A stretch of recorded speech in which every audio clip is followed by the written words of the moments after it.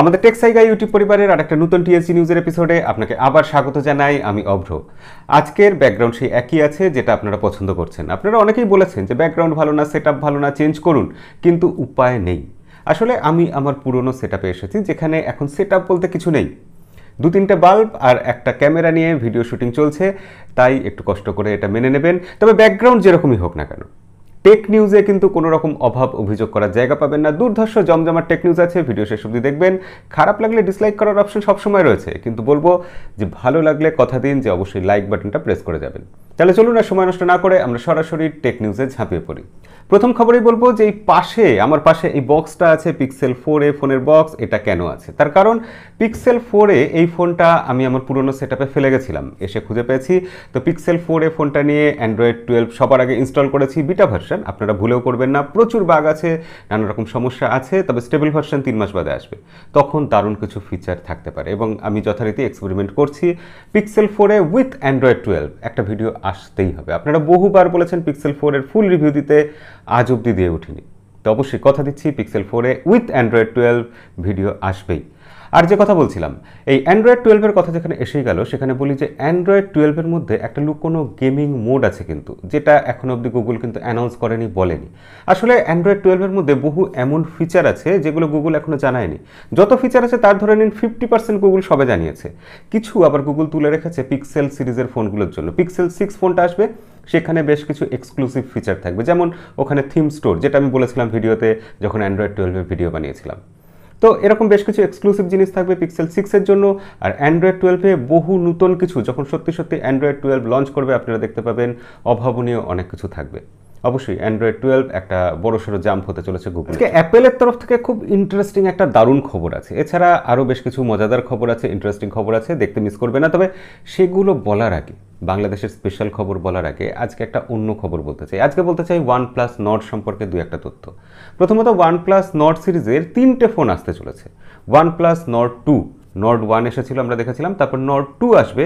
সেটা কি হবে? এখন অবধি খুব একটা ক্লিয়ার পিকচার নয়। তবে সেই ফোনটা সম্ভবত ইন্ডিয়াতে কুড়ি থেকে পঁচিশে জুনের মধ্যে লঞ্চ হতে পারে। কিন্তু এই মুহূর্তে যে ফোনটা ইন্ডিয়াতে সবার আগে নর্ডের তরফ থেকে লঞ্চ হবে, সেটা হচ্ছে নর্ড সিই সিই মানে code edition Nord CE five G one প্লাসের এই ফোনটাতে আমরা ডিসপ্লেতে পাচ্ছি six point four three inch একটা ninety হার্টসের full HD plus AMOLED display আগের ওয়ান প্লাস নর্ডের মতোই।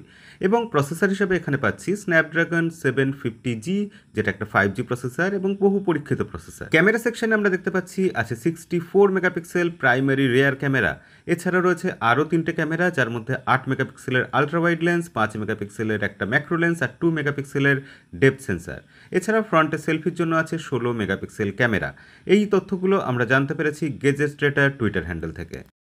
অবশ্যই ফোন দুটো মিড বাজেটের ফোন হবে, খুব একটা দাম বেশি হওয়া উচিত নয়। তবে একটু অন্যরকম হলে ভালো হতো, সেই একই ফোন যদি লঞ্চ করে সেটা ঠিক হবে না। এছাড়া ওয়ান প্লাসের যে থার্ড ফোনটা আসবে, সেটা OnePlus Nord N hundred যে এসেছিল, তার সাকসেসার এন টু হান্ড্রেড আসবে।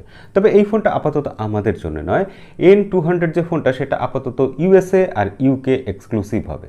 দেখা যাক ওয়ানপ্লাস অনেক ফোন নিয়ে আসছে আগামী দিনে।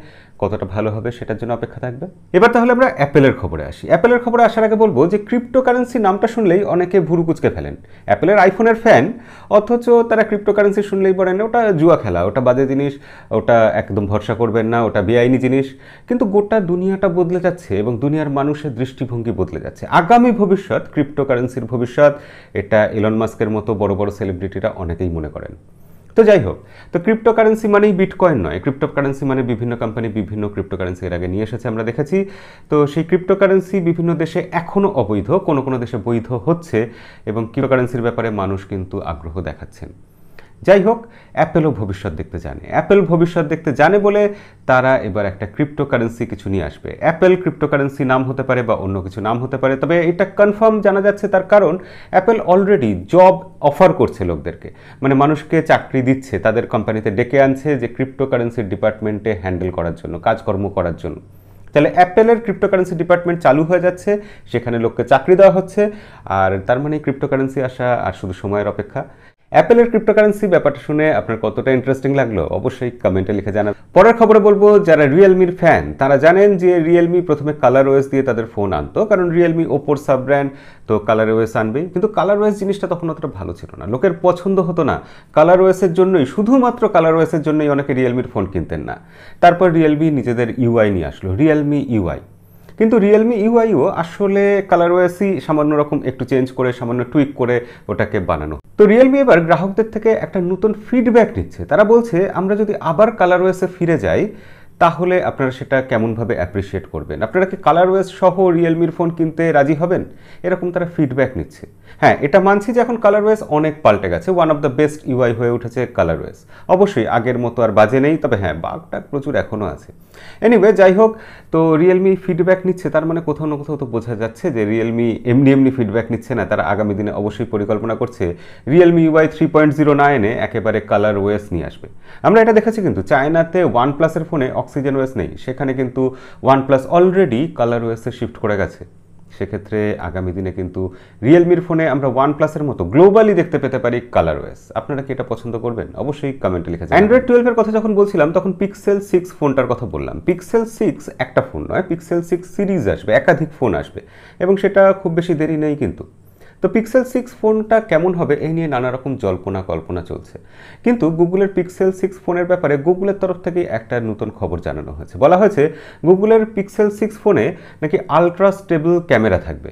অর্থাৎ তারা গিম্বল ক্যামেরা এই টেকনোলজিটাকে এই জিনিসটাকে ইমপ্লিমেন্ট করতে চলেছে তাদের পিক্সেল সিক্স সিরিজের ফোনে পিক্সেল সিক্স ফোনে আমরা ইমপ্রুভড ভিডিওগ্রাফি পাবো এবং আলট্রা স্টেবল মোড বা স্ট্যাটিক ক্যামেরা পাবো। এটা গুগলের তরফ থেকে বলা হয়েছে কিন্তু।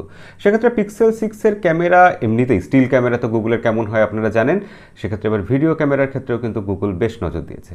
আমার খুবই আগ্রহ, খুবই ইচ্ছা পিক্সেল সিক্স ফোন কেনার। জানি না সৌভাগ্য হবে কিনা। তবে গুগলের একটা নতুন ক্যামেরা টেকনোলজি আসছে, যেটা পিক্সেল সিক্স ফোনের জন্য নয় ঠিকই, কিন্তু আগামী দিনে, হয়তো পিক্সেল সেভেন ফোনে বা গুগলের যেটা ফোল্ডিং ফোন আসবে পিক্সেল ফোল্ড নামে, সেই ফোনে এই ক্যামেরা থাকতে পারে।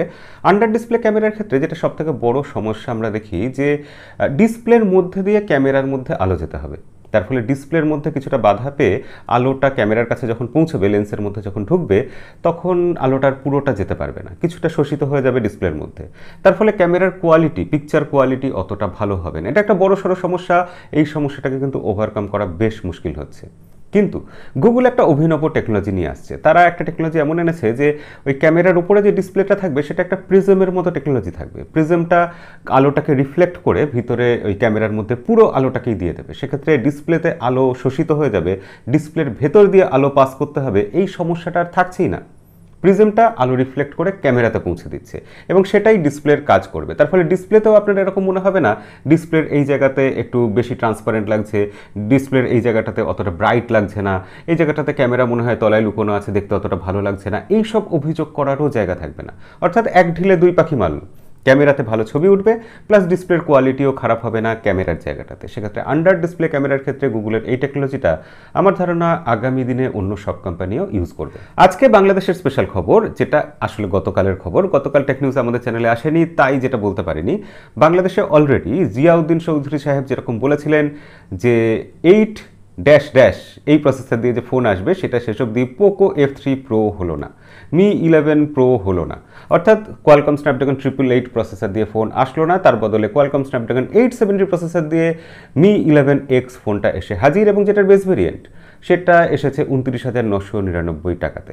কিন্তু এটা শুধুমাত্র অনলাইনে বিক্রি হবে অফলাইনে অর্থাৎ শাওমির স্টোরে বা দোকানে বাজারে হাটে বিক্রি হবে না। সেক্ষেত্রে এই ফোনটার দাম আরও একটু কম রাখা কি উচিত ছিল না? যেহেতু ডিস্ট্রিবিউটারকে পয়সা দিতে হচ্ছে না, দোকানদারকে কমিশন দিতে হচ্ছে না, সেক্ষেত্রে আমার মতে এই ফোনটার দাম আর একটু কম রাখা অবশ্যই উচিত ছিল শাওমির বিশেষ করে ইন্ডিয়াতে এই ফোনটার যেরকম দাম ছিল এবং এটা যেহেতু Qualcomm Snapdragon eight seventy processor দিয়ে আছে, সেক্ষেত্রে আমার মতে এই ফোনটার দাম পঁয়ত্রিশ হাজার টাকা হলে একদম বেস্ট হতো। আমরা কোনো অভিযোগ করতে পারতাম না। তবে এই ফোনটা এত দাম দিয়ে নেওয়া কি ঠিক হবে? এবার এই ব্যাপারে আমার নিজস্ব কিছু মতামত আমি আমার ভিডিওতে বলেছিলাম। অবশ্যই সেই ভিডিওটা দেখে না থাকলে ডিসক্রিপশন লিঙ্ক থাকবে, দেখে নেবেন। তবে হ্যাঁ এখানে একটা ভালো জিনিস শাওমি করেছে। ইন্ডিয়াতে যে মি ইলেভেন এক্স ফোনটা আছে, সেখানে ফাইভ জি ব্যান্ড দুটো মাত্র আছে, মাত্র দুটো। কিন্তু বাংলাদেশের মি ইলেভেন এক্স এই ফোনটাতে দশটা ফাইভ জি ব্যান্ডের সাপোর্ট আছে। এই ব্যাপারটা দারুণ লেগেছে আমার অবশ্যই অ্যাপ্রিসিয়েট করব এটা শাওমিকে তবে শাওমি ইন্ডিয়ার সাথে এবার বঞ্চনা করছে শাওমি সব দেশেই সবার সাথে কোথাও না কোথাও বঞ্চনা করে এটা কিন্তু মান পোকোর তরফ থেকে আজকে একটা দারুণ খবর আছে তবে সেই খবরটা বলতে গেলে অবশ্যই রিয়েলমির খবর বলতেই হবে। তার কারণ এটাই যে রিয়েলমি যে রিয়েলমি এক্স সেভেন ম্যাক্স ফোনটা নিয়ে আসছে একত্রিশ তারিখ ইন্ডিয়াতে লঞ্চ হবে যে ফোনটা আমার কাছে অলরেডি এসে গেছে। ভালো ফোন খারাপ নয়। এবং দামটা যদি ঠিকঠাক রাখতে পারে এই ফোনটা কিন্তু ভালো মার্কেট ধরতে পারে। এখানে একশো কুড়ি হার্টসের রিফ্রেশ আছে অ্যামুলেট ডিসপ্লে আছে এবং আছে মিডিয়াটেকের ডায়মেন্সিটি বারোশো প্রসেসর ওভারঅল ঠিকঠাক ফোন কিন্তু আমার মনে হয়েছে এখনও অবধি। একত্রিশ তারিখ ভিডিও আসবে, অবশ্যই দেখবেন।